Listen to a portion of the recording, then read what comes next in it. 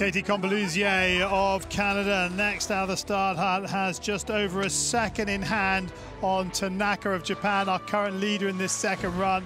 And Combaluzier in her first Paralympic Winter Games will look to try and get in front of Tanaka if she can.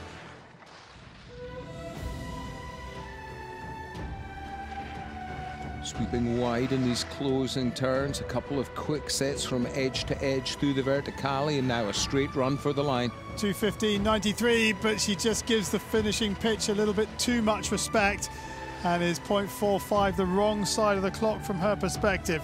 Uh, today was good. There was a little bit tricky course conditions on the first run, but thankfully they held up for second run and was able to put down two solid finishes, and I'm really happy with how I did.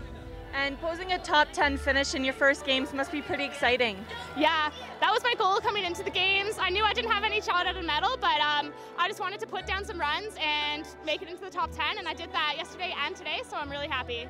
Is there anything you want to say back home to the Canadians watching? Yeah, I want to say hi to everybody who supported me and watched me through all of this. My mom, my dad, my best friend Jackie, uh, my boyfriend Adam, everybody's been supporting me. Um, hey to my girls at home. Um, yeah, thanks so much. It really means the world.